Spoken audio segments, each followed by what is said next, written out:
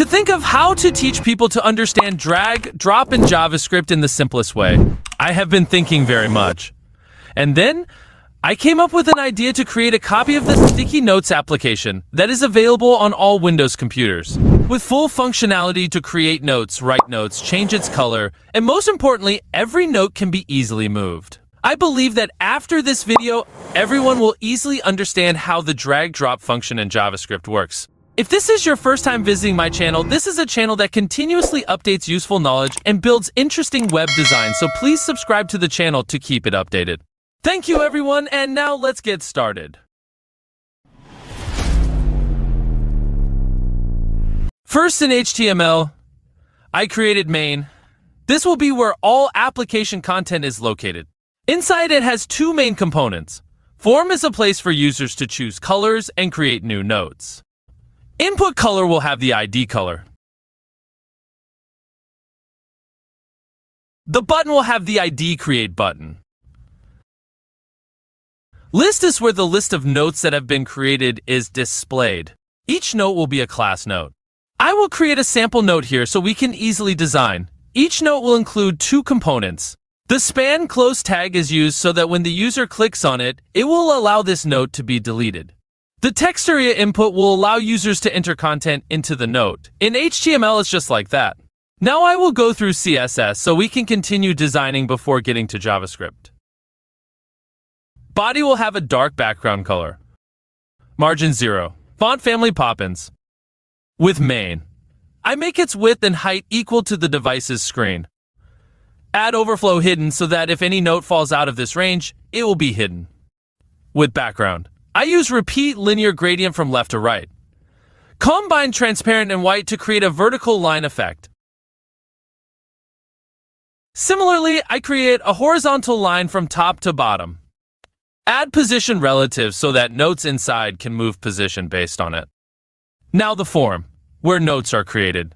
It will have a white background with max content, padding 5 pixels, margin 10 pixels, border radius 24 pixels, display flex to arrange inputs. The distance between it is 10 pixels. Both the input color and button will have a width of 30 pixels, height 30 pixels, padding 0, remove borders, for transparent background color, large size fonts. Cursor pointer to create a hand effect when the user clicks. For input color only, point to WebKit color swatch wrapper to remove the padding between the border and the color picker inside. Then point to WebKit color swatch to round the four corners of the color selection inside into a circle. In the list, we also have an input called text area. I will remove all its default values with all unset, then add white color. For each note, there will be a dark gray background with max content. It has a very large top border of about 30 pixels in yellow.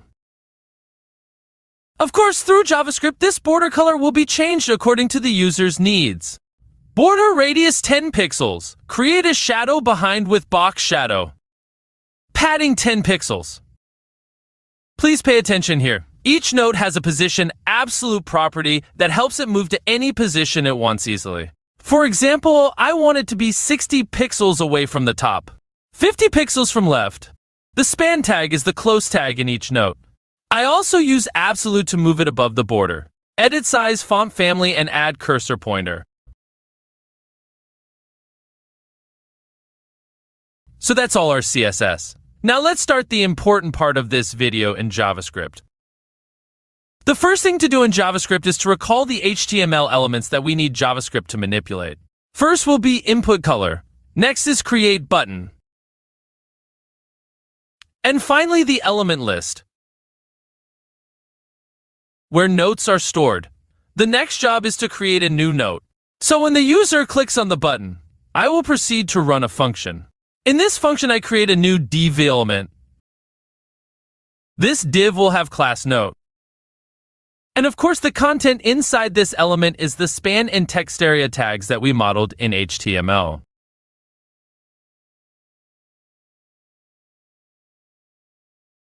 Once created, I proceed to add this new element to the list with appendChild. So it worked. In addition, for the note to have the same color as the color the user chooses. Then in the newly created element, I point to CSS to change its border color with the value of input color. It's as simple as that. We can easily create new notes with the color of our choice. Next thing, that is, when the user clicks on the close tag, this note will have to be deleted. Then I will catch the event when the user clicks anywhere on the screen, with event being all data about this event, with the event target being the element that the user just clicked on. You can see that when I click on the button to create a note, it displays the button element. And when I click on close tag, it shows a span tag with class close. Then we have to check. If the object that the user clicks on is a close class, then we will continue processing.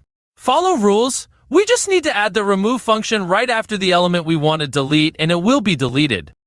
But if we do so, then only the close class is removed.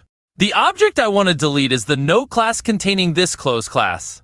So add the parent node so it can get the class note element, then delete it.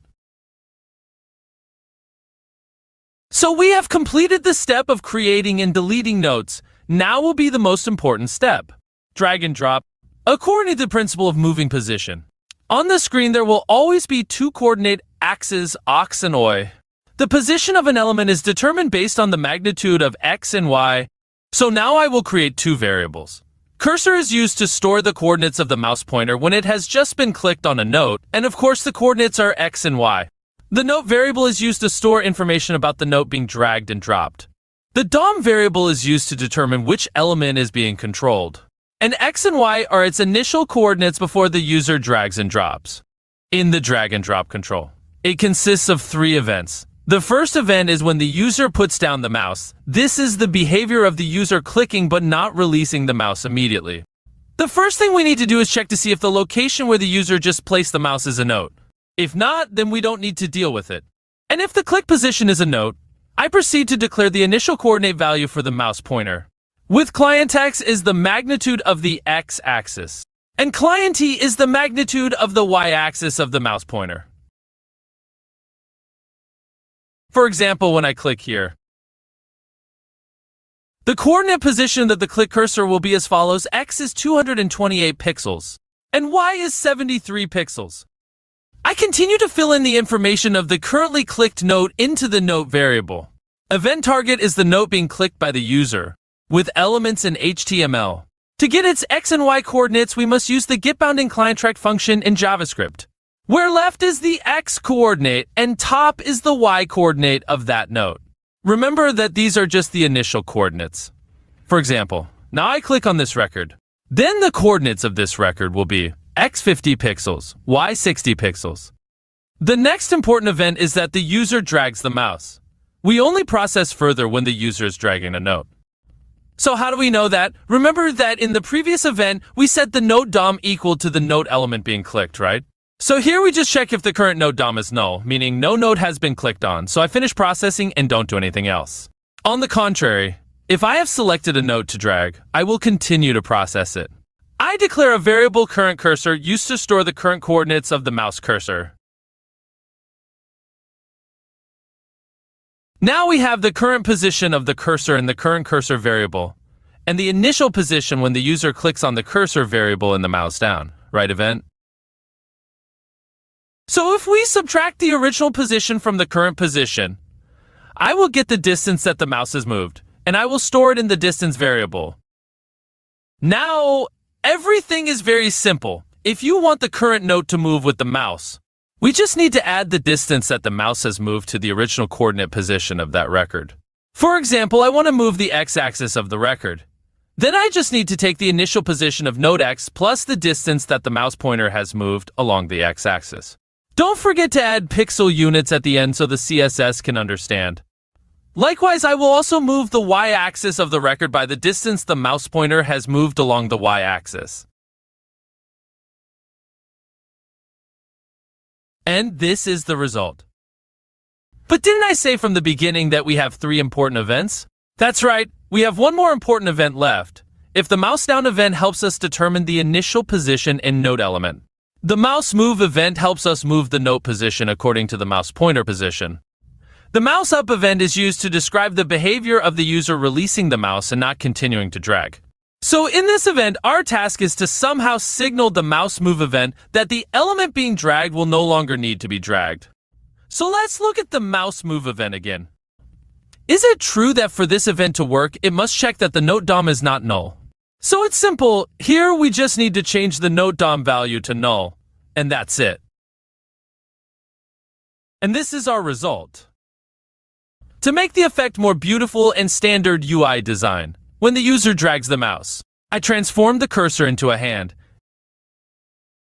And when I stop, I return the effect, I set it to auto to lose my hand. Notice that. We only do these things when the value of note DOM is not null. So we have created drag and drop functions in JavaScript based on catching mouse down, mouse move, and mouse up events. If you have any questions you don't understand, please leave a comment and I'll help you answer them. And if you find this video interesting and useful, don't forget to like and subscribe to my support channel. Thank you very much, everyone. Lundev's channel specializes in building series related to programming and web design, including HTML, CSS, JavaScript, as well as React.js frameworks, Bootstrap, Tailwinds, and of course, all the code is always free. See you everyone in the next video.